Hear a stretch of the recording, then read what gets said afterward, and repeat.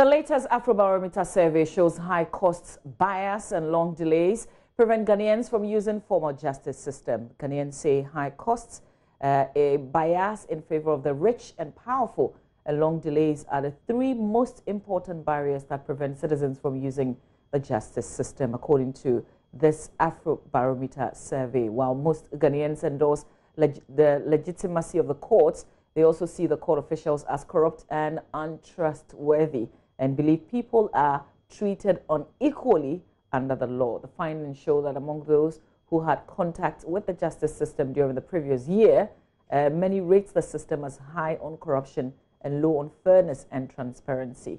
Ghana is a signatory to the African Charter on Human and People's Rights and the Maputo Protocol, both of which oblige the state to ensure that citizens have access to the delivery of justice. But conditions necessary to ensure efficient and equal access to justice, uh, such as affordability, proximity, comprehensibility, and responsiveness, are not in place for a number of Ghanaians. Joining me uh, for a conversation uh, is research analyst at the CDD, Mr. Gilfred Asiamah. Uh, a very good morning to you, and thanks thanks for joining us on this conversation. Uh? Thank you very much, Mama V. Okay. Thanks for having me. All right, great. Um, so, reading this finding, there was also the portion of people who had not uh, even had contact with the justice system who still thought that the system was corrupt. Uh, yes, that's that's true. Um, so, in the Afrobarometer um, research or survey that we conducted, uh, we asked Ghanaians about their perception um, of corruption for various institutions, and um, the, the justice sector was part of it. So we asked about the police, um, the judges and magistrates, the members of parliament, and civil servants. And um, Ghanaians believe that apart from the police, um, they believe um, that the justice sector uh, comes next in terms of those who are highly corrupt. it is true that they may not have had any contact with the justice system, um, but um, based on the information that they are fed with in the media, um, following especially the exposés in the judicial sector, um, Ghanaians have begun to form a certain kind of um, um, perception about how they think the justice sector is. So I think that is why we are seeing those high figures about the about the corruption in the justice sector. Mm. give us a, a, a bit of breakdown in terms of some of the questions that you put to them. Okay, so um, we, we asked Ghanaians um, a lot of questions, and then one was to um, examine the legitimacy of the court. So, under the legitimacy of the court, we asked Ghanaians.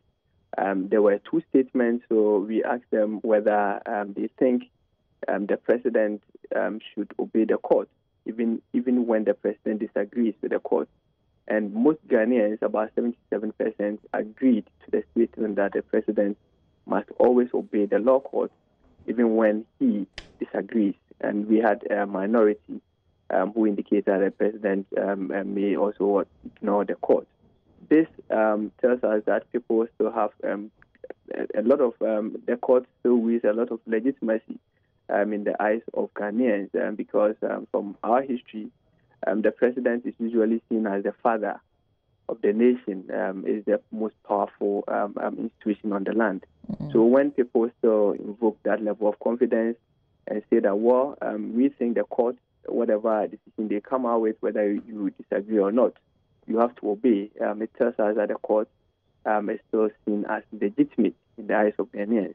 And again, as I earlier indicated, uh, we ask questions about corruption um, of various institutions. And apart from the police, um, Ghanaians believe that well, um, the judges and magistrates are the ones who come next in terms of corruption. Mm. We again inquired from Ghanaians um, how much um, trust they impose in some state institutions, and the courts ranked below the electoral commission in about the seventh position. I think the seventh position. So we have Ghana Armed Forces coming first, the president, religious leaders, the New Patriotic Party, traditional leaders, electoral commission, and then comes the court before you go to the police uh, which also gives you a signal because when it comes to perception of corruption, it was the police first, then you come to the court. And when it comes to the trust, the police just ranks below um, immediately below the court, which also gives you an impression that um, the perception of corruption also feeds into the level of trust people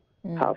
Mm. Um, again, we also ask Ghanaians why they wouldn't access the justice system. So we ask them to list the three most important reasons that will prevent them um, from using the formal justice system. And they give us um, that the court is too expensive. Um, the system also favors the rich and the powerful. And again, proceedings also take a long time um, before conclusions are reached. Mm. And we think these are worrisome because um, when these factors are not in place, as we have stated in our statement, it prevents a lot of people from getting access to justice. And access to justice is a fundamental human right which is guaranteed in our constitution. And Ghana is a signatory um, to so many international conventions and protocols that are supposed to enhance people's access to justice, including even the African um, um, um Union's own um, mm. Um, charter. So I think these are very legitimate concerns that the judicial sector needs to take on and make sure that they are addressing the issues that Ghanaians have raised. Great. I mean, the Afrobarometer report. I want us to take some time and look at the reasons. So, when 54% of the respondents say that uh, the the justice system is too expensive, uh, do we know exactly what the, is it in terms of having access to a lawyer? Thank you very much. I think um, all those things count, and even the filing fees. Um, these issues have been raised um, by other people um, that even the filing fees um, at the courts are too expensive. And again, we know um, when it comes to the issue about uh, legal aid, it's very limited in the country. Um, the legal aid, the provision of legal aid is limited to few regional or urban centers in this country, which means that a lot of people do not have access to free legal aid.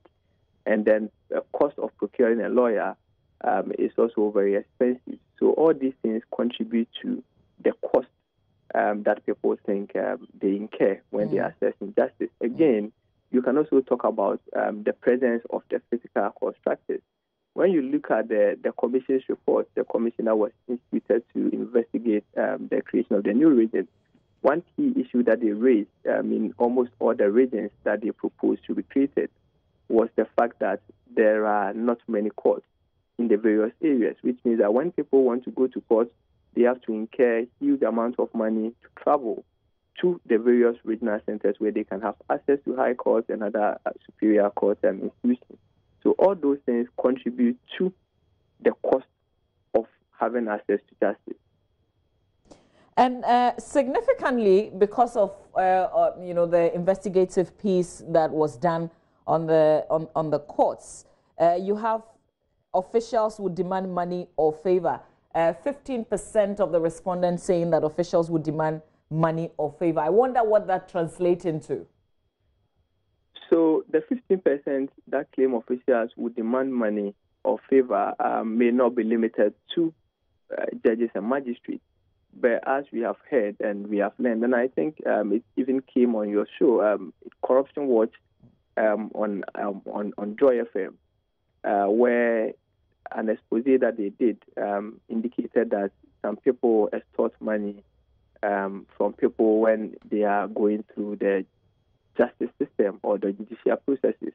Um, in terms of filing your case, um, in terms of even when you want your case to be mentioned, and all those things. Um, these are things that we have even heard people from, from the judiciary um, claiming that these things exist, and they are trying to put measures in place to some of these things. Mm. So these are all issues that will also prevent Ghanaians from sending their case to the formal justice system mm. uh, demand justice. I want us to look at uh, uh, another question that you ask, which is how much do you trust each of the following, or haven't you heard enough about them to say? And that's where you bring in the New Patriotic Party, uh, because obviously we have two of the major parties uh, I, I wonder, is it because people never mention the NDC, that's why they are not featured in this? Um, I think we we cut down um, on the list at a point, um, but the NDC, um, we, we actually didn't add the NDC. Uh, NDC was part of the opposition political party. Um, so where you see the opposition political party, um, is where you can locate the NDC together with other political parties. Okay, explain the findings there. So we, we, we ask Ghanaians to tell us how much they trust um, each of the following institutions. So um, um, most Ghanaians indicated that they trust the Ghana Armed Forces, and then uh, followed by the president. And, and I think we shouldn't confuse the president with the presidency. Um, the president is the second most trusted institution. So then this is this is the president as in the person. This is the president as in the person. This is the president as in the person. So Ghana Armed Forces is the most trusted, then followed by the president. Then you come to the religious leaders, and the new patriotic party. Um, most Ghanaians believe um, is trustworthy. Then you come to traditional leaders, electoral commission, the court, followed by the police. Okay, so I'm wondering how, you, why you chose to box the op opposition political parties together. Um, I think so. Trust in the, um, um, I mean, the, the, the NPP is the ruling political party, and so how much trust uh, people uh, in the ruling party um, is is very good for us to understand. Um, uh, the future of the party. And, and but the opposition political party, even as you know, um, it's basically NDC and the other political parties um, that we have come to know are very weak, and then they, they do not um, um, count much when it comes to this analysis. But it's also very important to also um, know the sense of people about the other uh, opposition political parties. And also significant is the fact that 15%, uh, 15% of the people trust parliament. There's also the MMDCEs. And uh, on this list, at least the one that I have, where you, you know, from your cut-off points, the Ghana Revenue Authority has 10%. Yeah, I, I think these are these are worrying issues um, that we, we all need to address. Um, when you have majority of your population um, not trusting key institutions like parliament, and the MMDCs, I think it's worrisome. Um, so these are the perception of Ghanaians. Uh, we, should, we should take that into consideration and how people perceive their leaders go in a long way um, to tell you how much confidence they have in the system and how much trust they have in the system. Um, so I think these are key pressure points um, that have to um, lead to some some kind of public education, um, has to lead to some kind of policy change to make sure that these institutions pose much confidence in the people um, um, for the better of our democracy. Mm. Help us also understand the people, uh, you know, that you interviewed in this particular survey. Give us the number, uh, a little background of who, who these people are.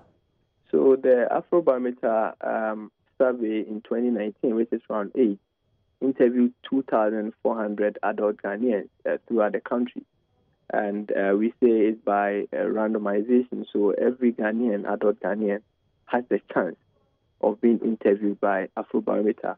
And this number that we are seeing, the 2,400, gives us 95% confidence level in the findings that we have given you. So it means that if you want to go out with this same number and use the Afrobarometer survey, in 95% out of 100, or 95% times out of 100, you will get the same response, either plus or minus two.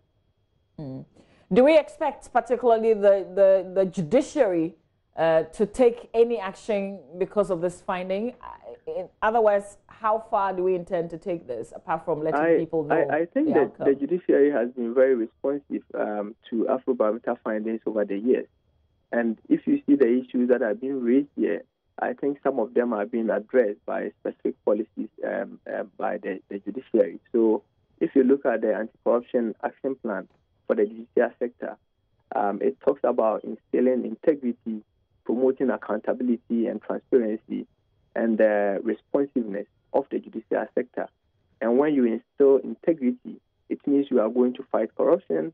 When you promote transparency, you are fighting corruption. When you promote accountability, you are fighting corruption. And you are at the same time, you are also trying to encourage people to use the justice system because now they understand. And um, I think it is remarkable to see the website of the Judicial Service, um, which gives a lot of information. It used not to be.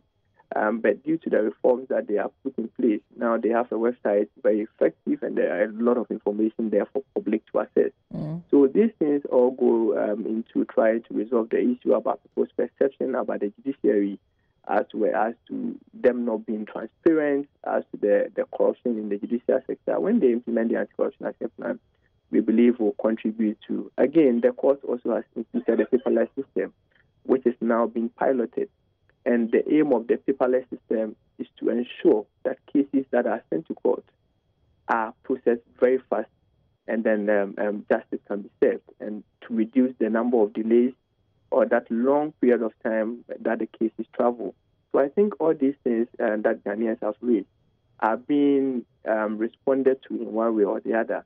And we are encouraging the judicial service to, to, to, to, to make sure that um, they, they put in place more measures to expand the access mm. to court services in the areas that they don't have and also follow through with the implementation of some of these wonderful initiatives. I thank you for your time. Gilfred Asiamah is a research analyst uh, with uh, CDD Ghana, uh, the Afrobarometer team in Ghana, led obviously by the Ghana Center for Democratic Development.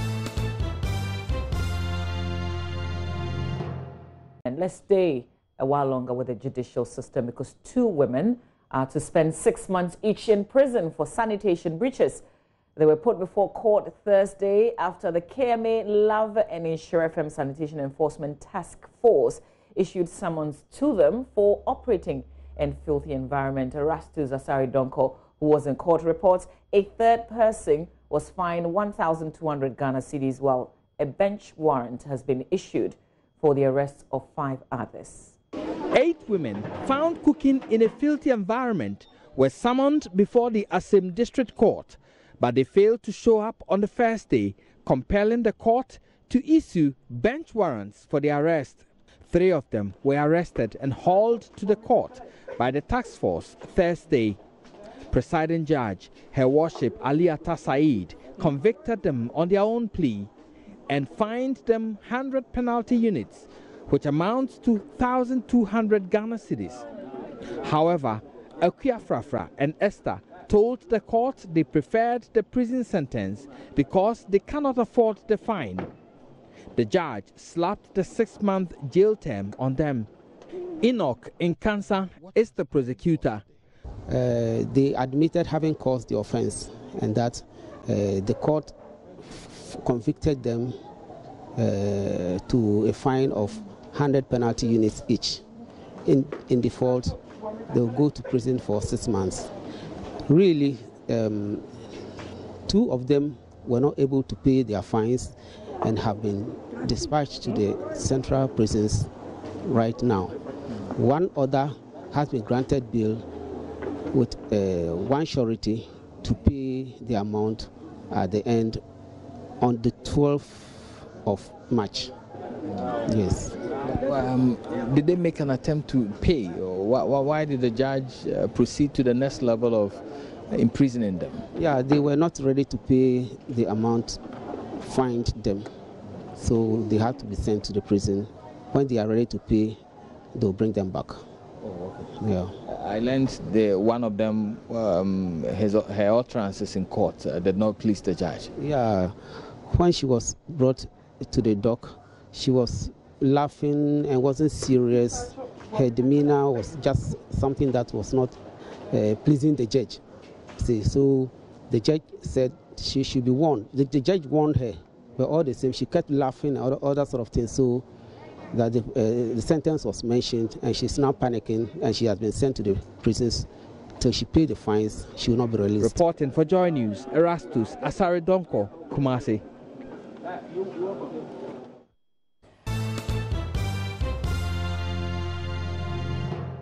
Impact of the lockdown on trade activity.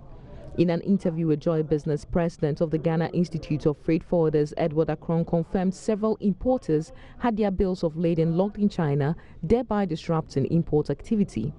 Talking to our, our members, we realize a lot of them have clients whose bills of lading are locked up.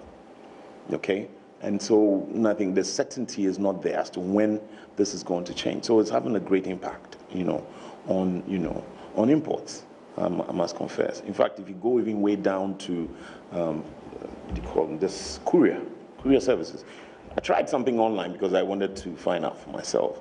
And then you'd realize that even the, you know, the courier timetables, I mean, when you, you're thinking of maybe most of these things coming by air, then you're beginning to have it because you look at it and the delivery times for very little, you know, uh, uh, items.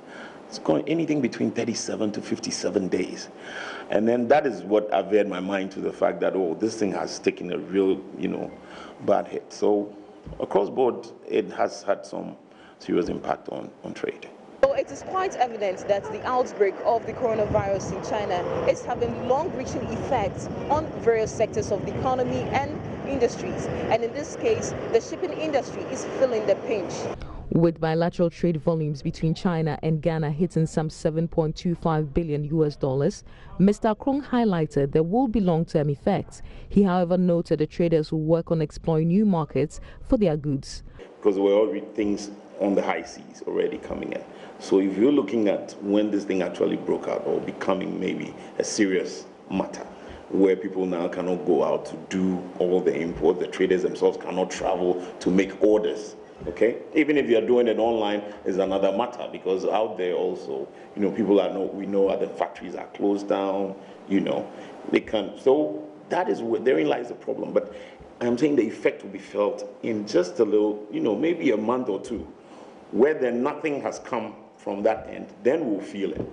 Like I'm saying, on the other hand, I mean, traders are traders. They would always find alternates. As to whether how it would affect pricing is another matter. Because For Joy Business, Shilata Moklo reporting.